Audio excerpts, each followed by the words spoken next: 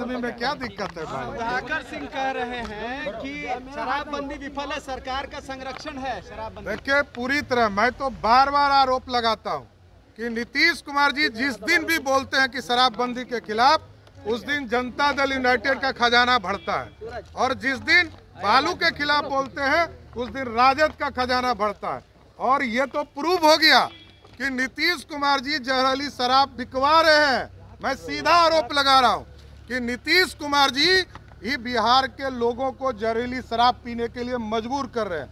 मैं तो उनके सभी जो परिवार हैं, उनसे मिलने भी जाऊँगा और उनसे आग्रह करूँगा कि नीतीश कुमार के खिलाफ एफआईआर दर्ज कराइए, क्योंकि आपके परिवार को मारने वाला कोई व्यक्ति है, वो नीतीश कुमार है।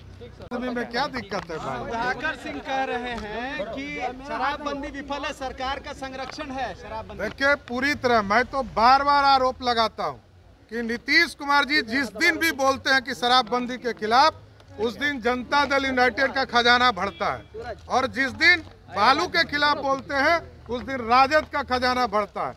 और ये तो प्रूव हो गया कि नीतीश कुमार जी जहरीली शराब बिकवा रहे हैं। मैं सीधा आरोप लगा रहा हूँ। कि नीतीश कुमार जी ही बिहार के लोगों को जहरीली शराब पीने के लिए मजबूर कर रहे हैं। मैं तो उनके सभी जो परिवार हैं, उनसे मिलने भी जाऊँगा और उनसे आग्रह करूँगा कि नीतीश कुमार के खिलाफ एफआईआर दर्ज कराइए, क्योंकि आपके परिवार को मारने वाला कोई व्यक्ति है, वो नीतीश कुमार है। में क्या दिक्कत है भाई? सिंह कह रहे हैं कि शराबबंदी विफल है सरकार का संरक्षण है। शराबबंदी देखिए पूरी तरह मैं तो बार बार आरोप लगाता हूँ कि नीतीश कुमार जी जिस दिन भी बोलते हैं कि शराबबंदी के खिलाफ उस दिन जनता दल यूनाइटेड का खजाना भरता है। और जिस दिन बालू के खिलाफ बोलते हैं उस दिन राजद का खजाना भरता है।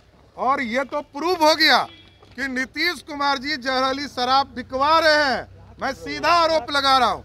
कि नीतीश कुमार जी ही बिहार के लोगों को जहरीली शराब पीने के लिए मजबूर कर रहे हैं।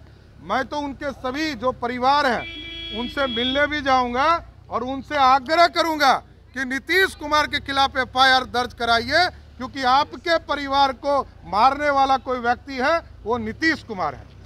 लेटेस्ट खबरों के लिए देखते रहिए एम न्यूज़ जेड न्यूज़ और ताज़ा अपडेट पाने के लिए चैनल सब्सक्राइब करना ना भूलें।